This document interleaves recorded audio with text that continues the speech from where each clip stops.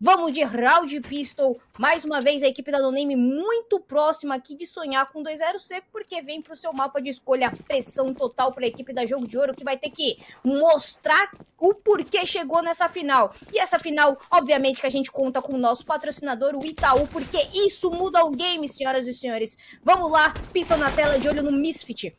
Vai garantindo aqui, quem sabe, a primeira neutralização. Spotas já os jogadores caem ali pela região da, do rio, né? E de ouro aqui no Hugo. Ele que tenta fazer o abate, acaba caindo ali da região da caverna. Já tem entrada pro bom site da B. A equipe tá jogo C4 de ouro, vai sonhando. Mas olha, o Niezin e Spota C4 já não é a primeira vez no jogo que ele consegue ali derrubar o player com a C4 e o Mario, né? O XP agora tem que vir com tudo. Consegue eliminar agora o Niezin. Cai pra uma situação de 2v2 mas ainda a, o trabalho de informação da equipe da NoName tá muito bom, porque olha o Mate, que trabalho do Mate, duas belas eliminações e o round pistol é das, é, fica nas mãos da equipe da NoName. Muito bem jogado, né, principalmente por esse combate na região do meio, é, a partir do momento que você dá esse combate no meio, pode o jogador de TR, normalmente se você tá sozinho, se você tá num setup defensivo da região do meio, você vai abdicar dessa, dessa informação e facilitar essa transição entre os bomb sites para a equipe TR, mas o fato é que eram dois jogadores por ali, e um tava inclusive de dual bereta. Então, eles queriam mesmo esse confronto, queriam essa briga pela região do meio. E quando eles abrem o pixel e não vem ninguém, eles já entendem que a rotação foi feita pela parte do rio. Deixa as pontas muito confortáveis para jogar e se reposicionar de uma maneira adequada para defender esse pico. Muito bem jogado pelo momento. E tá aí, ó, trocas, a equipe da Jogo de Ouro força, né, faz o seu force buy, o Might tenta fazer ali o contato pelo meio, otimizando a smoke que tinha por ali, só que é tradado logo na sequência, abre-se um espaço aqui pela região da liga e também aí da Double Door. Vamos ver como que a equipe da Jogo de Ouro vai fazer sua proteção. Já chega o contato, o XP consegue a primeira eliminação, já é tradado pelo Hugo logo na sequência. O Elbot consegue ali a neutralização do Hugo. A gente cai para um 3v2, olha, vantagem numérica da equipe Jogo de Ouro. Vai rotacionando, o Tontin vai fazendo aqui essa, é, esse trabalho de jogar mais atrasado aí do bloco propriamente dito, que batalha que agora o Neizinho neutralizado pelo Diaba. E aqui a situação favorável. Só que olha o Paquetá. O Paquetá que pode chegar e quem sabe até orquestrar ali um ninja. Senhoras e senhores, cadê o suporte dessa equipe? O Diabo aqui que tem que se aproximar, faz muito barulho, o Paquetá escuta. O Elbod também Meu chega Deus. neutralizado. Que clutch do Paquetá! Roundaço da equipe da No Name Olha, Celão, era uma desvantagem numa situação de 3v1 que o Paquetá aqui brilha na frieza gigantesca. Sem, sem defuse, sem defuse. E assim, vamos lá, a equipe tá jogo do ouro completamente perdida. Essa aqui é o real, velho. Uma situação de 3x1, onde você tem um jogador pelo rio, tem um jogador que já infiltrou pelo meio e não espotou ninguém. Não precisa plantar C4 com tanta pressa. Tem muito. Tinha, tinha aproximadamente, se eu não me engano, 40 segundos de round com certeza 30 segundos tinha, para mais. Então você não precisa se precipitar e fazer esse plant da C4 com tanta pressa. Acalma um pouco, espera, deixa os jogadores chegar um pouco mais próximo de você para fazer esse plant, você valorizar esse 3x1. Novamente, aconteceu no mapa da Duke, agora acontece novamente. Tudo que o jogador quer é achar três confrontos isolados e ele consegue fazer isso. E olha a situação de triple é, tentativa, né, de buscar esse espaço com um triple pick aqui da região da No Name. Essa trade kill acontece, né, cai ali o Niezinho, mas o Paquetá já chega para cobrar.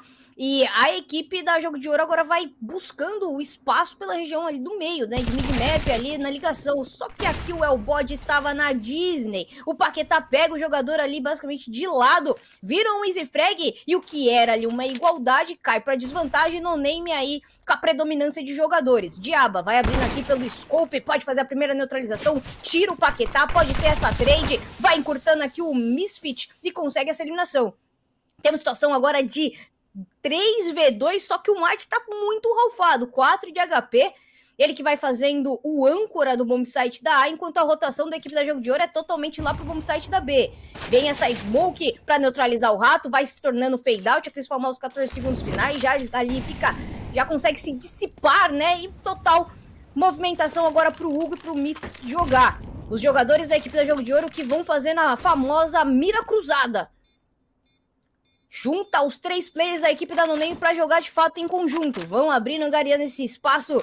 Tem que tomar cuidado, Smoke agora para C4, a Smoke não ficou nem um pouco ali favorável, isola o confronto contra o Tontin, o defuse vai acontecer, o Iguin não tem pra onde ir, pego pelo Misfit e tá lá 3 a 0 que protocolo de retake, viu? Protocolo muito bem jogado. A equipe da Jogo de Ouro peca novamente. Porque vamos lá, a partir do momento que sofre essa pressão aí, ó, XP ele consegue uma eliminação, ele fica vivo ainda por mais uns 10 segundos. Enquanto a sua equipe tá parada no meio, em vez de ganhar espaço, aproveitar essa informação de que era uma agressão fundo e o meio estaria fragilizado e adiantar esse pixel. Não, espera o XP ser eliminado para daí começar a, a, ganhar espaço pela região do meio. Reposicionamento já estava sendo feito por parte da No Namer. E aí nessa situação 2x3 é jogável, é um retake jogável. Desvantagem numérica, sim, mas ainda é jogável. Mas a partir do momento você planta C4 e, é, é, e, se posiciona num lugar onde você não tem visão dela, que foi o que aconteceu com o jogador que foi para por a ligação, você acaba deixando duas situações de 3x1. Então, acaba pecando aqui a equipe do Jogo de Ouro em situações que não pode dar essa brecha, Roberto. Perfeito. E olha, dentro da Smoke, o Paquetá novamente vai fazer essa eliminação. Ele que brilhou muito na noite fazendo essas baixas. Aqui pela região do altar, vai tentando esse contato os players da, da Jogo de Ouro, né? Novamente um tanto quanto splitados pelas pontas.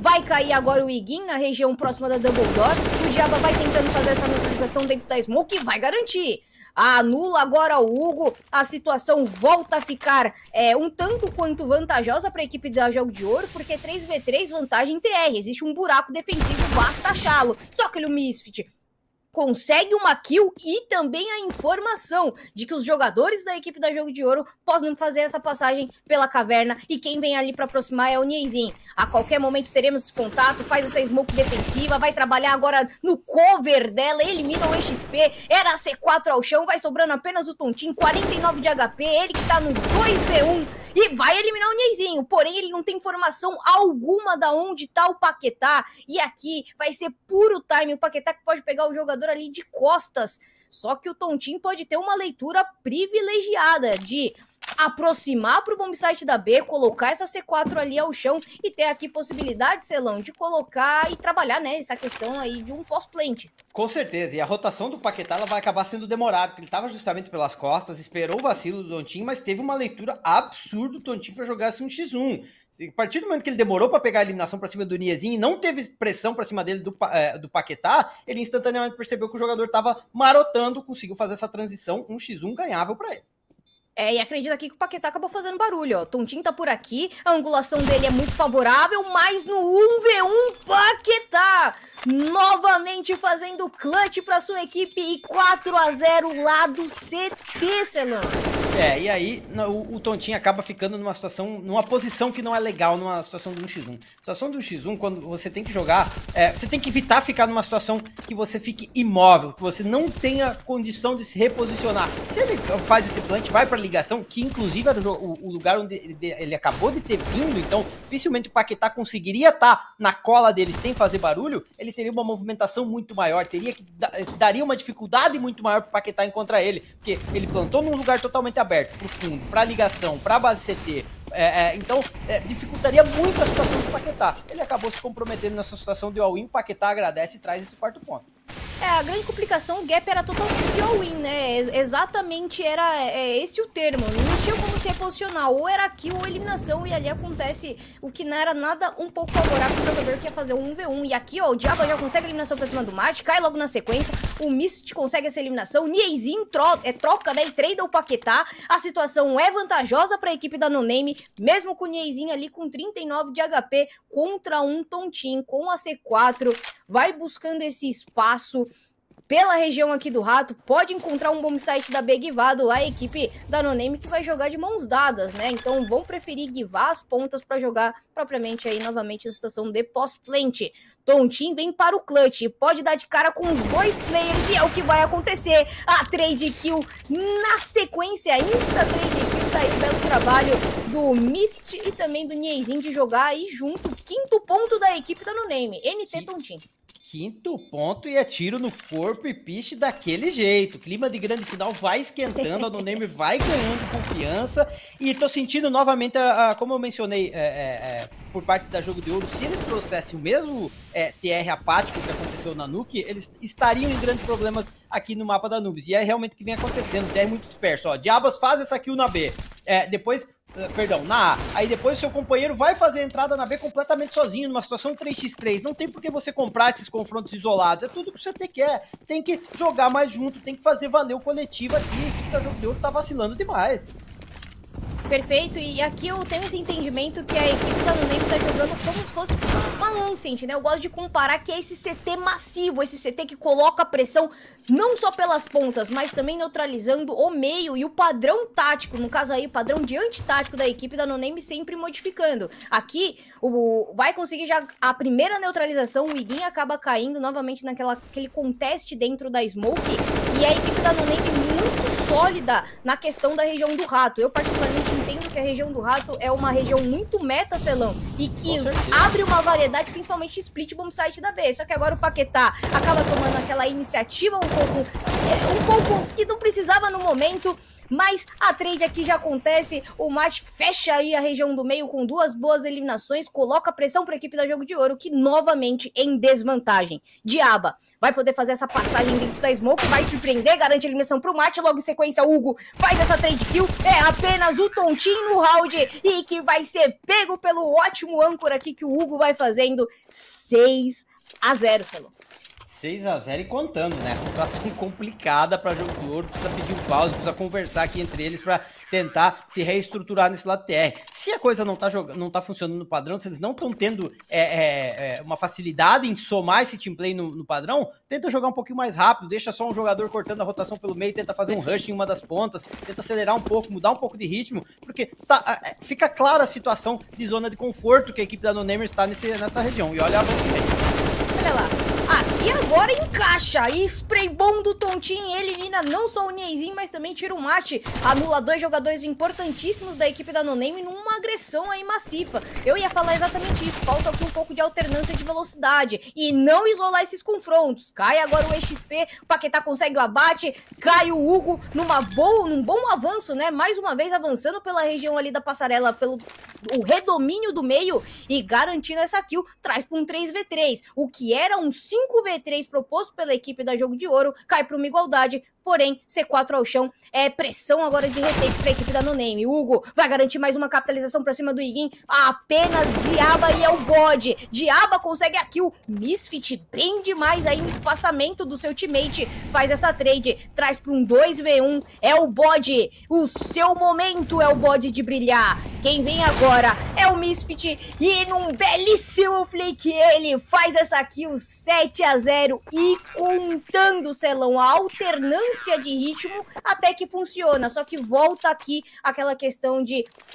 vamos jogar safe, vamos jogar com a C4, né? Novamente algumas, algumas tomadas de decisões que não, não é válida pelo contexto da partida. Com certeza, a XP não precisava ter dado esse confronto no fundo, pra começo de história, né? E depois vem um jogador que, é, que faz esse lurker, que acabou me fugindo quem era, que é, acaba sendo tradado na região do meio ali, né? Que ele vem pela BCT, é tradado pelo jogador da WP na ligação. Ele poderia ter tido um pouco mais de calma, não tinha, tinha um jogador avançado na posição do céu e outro guardando a posição do rio. Ou seja, era certo que não tinha nenhum CT no bombe ainda. Joga com mais cautela, joga numa situação em que você seja um elemento surpresa e consiga uma múltipla eliminação.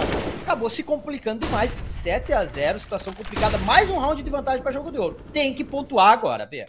Perfeito, né? Não adianta você chegar numa vantagem numérica e não sair com ponto, né? Olha lá, a vantagem que cai logo na sequência, o mate com uma belíssimo, né? Um belíssimo reposicionamento de mira, consegue essa eliminação, cai o Niezinho aqui pelo rato. As situações de 2v2 e estamos falando de um 2v2 que se transformou é, no 1v1. É difícil, é difícil. Olha, mais uma situação em que Jogo de Ouro se precipita nesse confronto. 2x2, eles novamente fornecem confronto individual.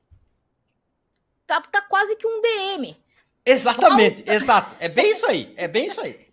Estão querendo resolver muito na bala, sendo que a Anubis você joga muito em team play, tá? E o Hugo pode fazer essa neutralização, não só pode como vai, e é ponto da equipe da No Name. Era uma situação de desvantagem, se torna uma vantagem, e é a pontuação que a gente já tinha dito. Não adianta você fazer uma situação de 5v3 e não sair com ponto. 8 a 0 baile da No Name nesse primeiro round. Baile, baile, baile. Isso aqui, cara, é, é complicado. Como eu disse, né? Jogo de ouro precisa pedir um pause aqui, precisa esfriar um pouco o ritmo. Você mesmo mencionou sobre a importância desse confronto no caminho de rato e tá, vem sendo efetivo demais aqui para a equipe da No Name. Eles vêm consecutivamente batendo, muitas vezes mudando o ritmo. Fazem uma smoke batem em dois ali com uma bang perfeita vinda do meio. Fa às vezes nem fazem a smoke, só compram essa briga em vantagem numérica, fazendo a molotov ali pela janela de quem vai para esse bomb site dar. Então fica difícil, eles conseguem ter um, um, um, confronto muito isolado nessa região do rato e normalmente sair com uma vantagem numérica.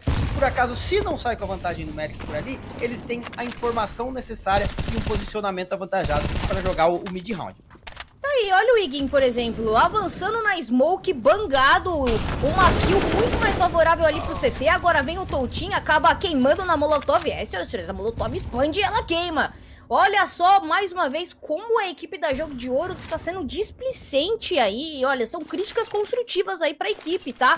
Jogar em etapas, jogar mais em conjunto, não ter esse ímpeto de heroísmo. Eu sinto muito isso nos jogadores, nesses aceleros, principalmente jogando de uma maneira um tanto quanto individual. Esse ímpeto do eu vou resolver com multi-eliminações. Exato. Dentro de, um, dentro de um CS Raela, a gente sabe que isso não funciona, né, Celão? É a famosa síndrome do herói, né? A famosa síndrome do herói que quer fazer com que você resolva o round sozinho. Mas CS é 5x5, né? CS em alto nível, então nem se fala. É, precisa ter mais team play, precisa ter mais coordenação aqui, equipe da Jogo de Ouro. Porque senão vai ser outro atropelo, outro espanco, 2 a 0 numa grande final desse jeito. Olha, fazia tempo que eu não via, viu, Bia?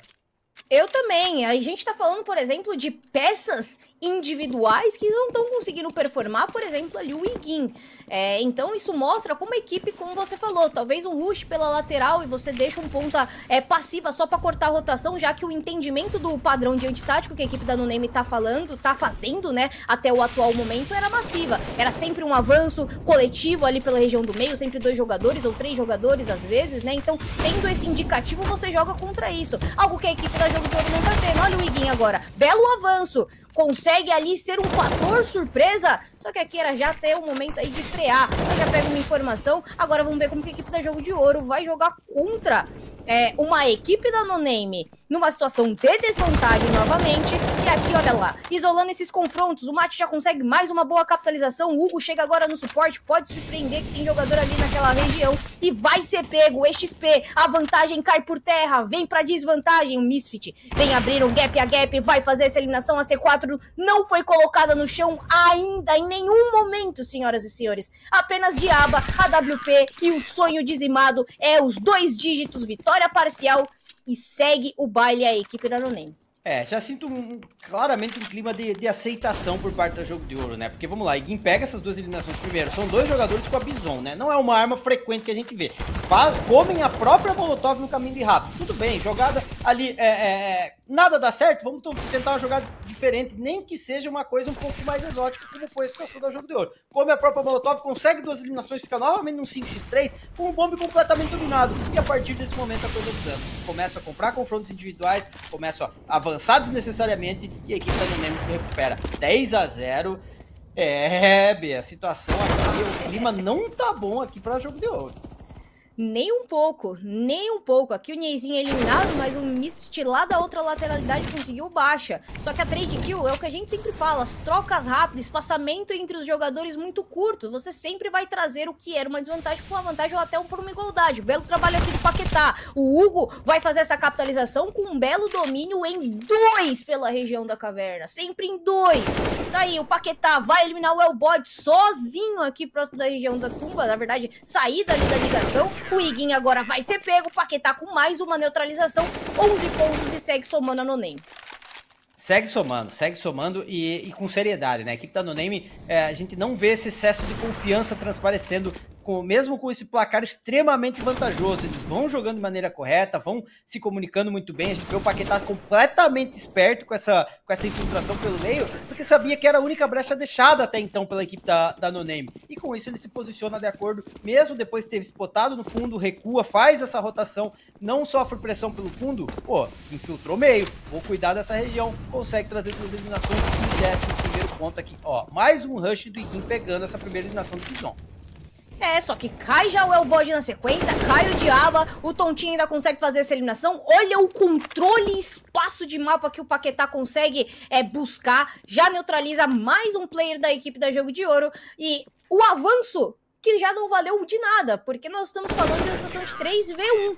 3v nada agora, porque o Paquetá vai fazer mais uma kill, 12 a 0. Celão, sinto muito falta aqui de fundamentos e fundamentos base, principalmente de você jogar em etapas, entre velocidade, exatamente. domínio e endgame. Exatamente, exatamente. Mencionei que pra gente ter uma anciente, a gente dependeria muito do resultado da Nuke. Como não teve uma Nuke, a gente vai acompanhando esse resultado aqui, é muito apático, muito aquém do esperado por parte da, da Jogo de Ouro. Não é o mapa de escolha deles? Não é o mapa de escolha deles. É uma equipe nova, a gente já mencionou sobre isso. É um mapa difícil de você jogar quando você não tem uma zona de conforto, quando você não tem o costume de jogar. Mas ainda assim, como você mencionou, fundamento básico existe em todos os mapas, independente de você ter o costume de jogar nele ou não. E é isso que tá devendo aqui o jogo de ouro.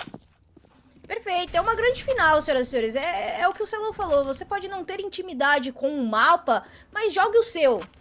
Faça o seu. Olha ali, eles tentando já isolar ali a C4, por exemplo. é, virou, tá virou baderna, né? Virou baderna. Virou meme, virou meme. Agora é só na trocação. Hugo consegue eliminar o Iguin, vai sobrando apenas eles. Tá aí, senhoras e senhores. Olha, de, de zero aqui não. A menos consegue um primeiro ponto e um ponto bem na trocação, né, Celão? Foi bem aqui, quase que um DM, eu diria.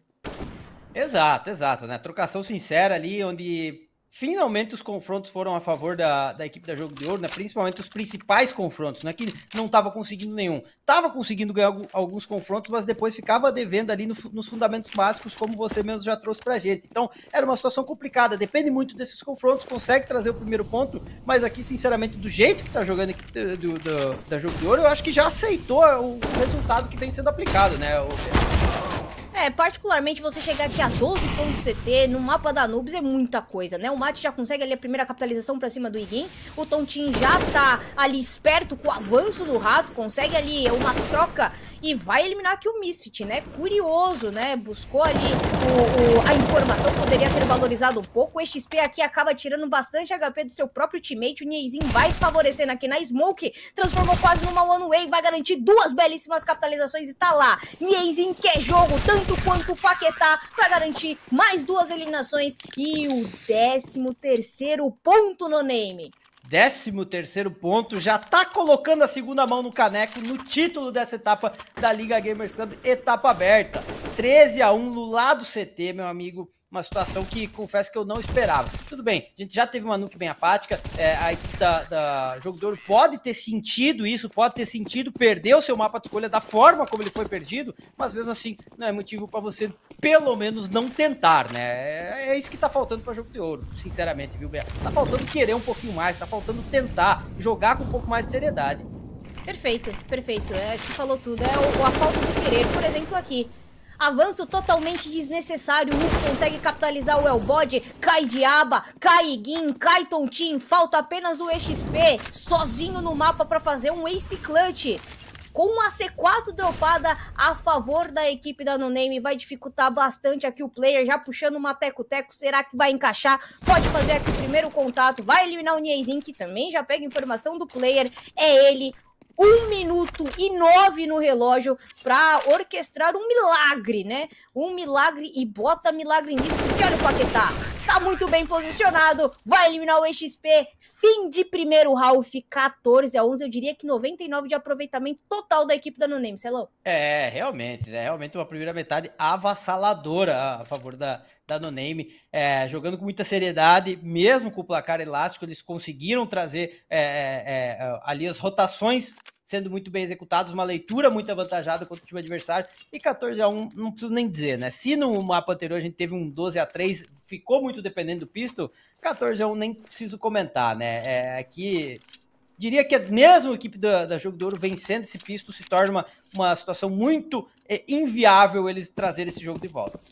É, é, nítido, né? Equipe, como você mencionou, uma equipe nova, uma equipe jovem, tá buscando seu espaço agora. É pegar essa VOD aqui e devorar, né? Tentar lapidar o máximo possível as arestas que foram mostradas. Olha só, um CT reativo, um CT que larga a ponta, não joga default, não joga 2-1-2, não joga 3-2. Vai que no avanço massivo, já consegue ali tipo, é, eliminar o mate, mate que pega essa informação. E situação agora de posicionar em angulações favoráveis à equipe da Noname. Iguin vem aproximando consegue já fazer duas boas baixas com essa dual. E olha, roda, roda! Rotação. É, roda, roda GC, meus amigos, porque aqui a equipe da NoName vai guivar esse bomb site é, da A pra jogar pro bomb site da B. O Hugo, que agora vem com essa neutralização, pode acontecer, ele elimina ali o XP, o Nieizinho vai fazer esse contato, elimina o Iguin, é ele apenas sozinho, aqui é jogar em team tá lá.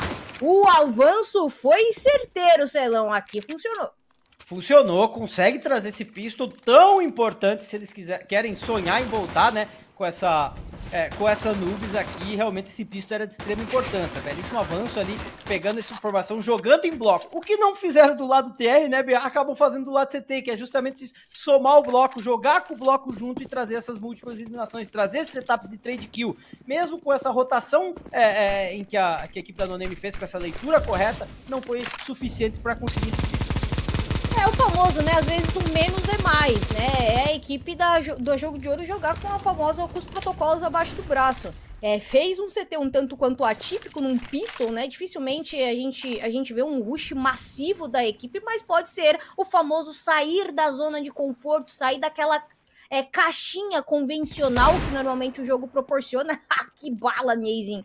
Que tapa pra cima do Tontin! Vai trazer a vantagem numérica aí pra equipe da No Name. Mas olha, voltando a ressaltar ali o Pistol, às vezes você fazer esses, é, é, essas jogadas que tendem a surpreender pode funcionar. Com duas certeza. vezes, eu acho que já não entra mais. Uma vez, ok, duas vezes eu acho muito complicado. E olha o round que a equipe da No Name pode trazer. O Nieizinho fazendo um upgrade de armamento, consegue uma capitalização. O Paquetá pega o Elbod totalmente de lado, guivou a região da caverna, que eles não iam furar smoke. Vai cair o EXP e aqui, meus amigos, é match point, Celão.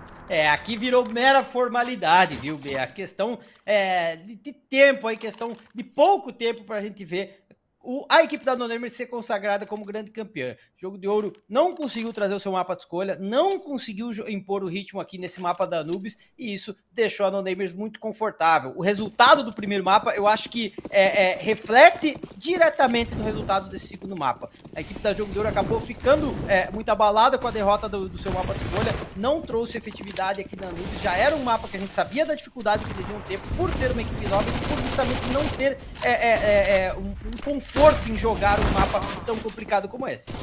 E digo mais, o Iguin é o player que eu, assim, a, conheci agora e, e mais fura molotov que eu já vi na vida, né? Tá lá, senhoras e senhores. A vantagem da Noname é valiosíssima, vai cair o Elbod apenas XP. A equipe da Noname está uma kill para se consagrar campeã da etapa aberta da Gamers Club. Hugo já achou o XP e de costas vai ser pego. Vitória da equipe da Noname são os grandes campeões da etapa aberta, Celão.